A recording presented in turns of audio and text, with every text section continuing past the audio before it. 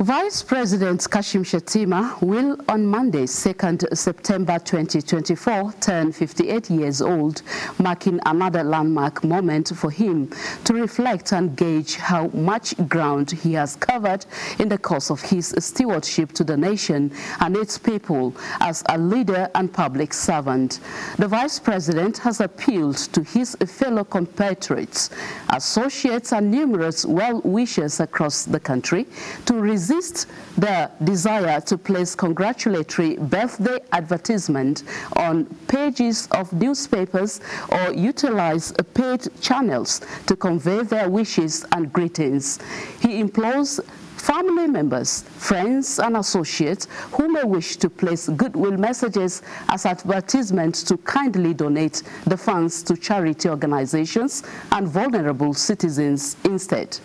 This aligns with the commitment of the Renewed Hope administration of President Bola Ahmed Tinubu to addressing issues of development and economic growth as well as improving the living conditions of Nigerians.